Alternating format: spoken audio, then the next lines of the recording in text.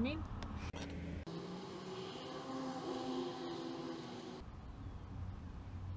Hey, Malbec, no!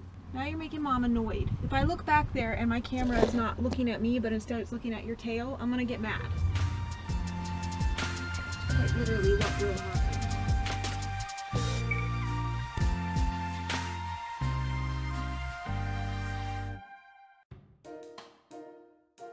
Alas, it is Friday and day five of our mural. This is an ongoing project, so if you haven't seen parts one through four, go ahead and take a look at them first. Today I am adding more leaves to the edges. This won't be completing them because I will need to do the borders on each leaf. That will really make each leaf pop and make the border look quite a bit more detailed and finished. I will also be filling in the negative space where there's that lime green color. That color will pop from behind a more subdued green as I'm not as into the lime color. Also, this will make the space between the flowers and the leaves one, like one continuous piece. I hope you guys enjoyed the video. There will be one more on Monday of the mural process and I assume that I should be done by then.